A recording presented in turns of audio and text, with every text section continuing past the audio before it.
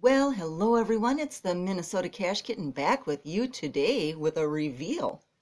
I ended up picking up a $3 Minnesota Lottery Four Corners crossword ticket, ticket number 89. And I ended up having a little bit of luck. Overall winning odds on this ticket are 1 in 3.28, and I truly beat those odds today.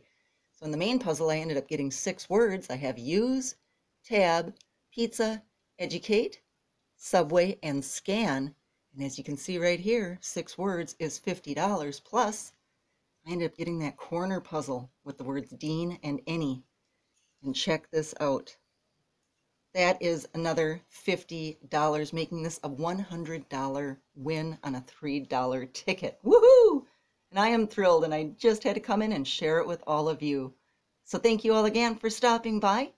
Please press like and have yourself a fabulous day. Bye.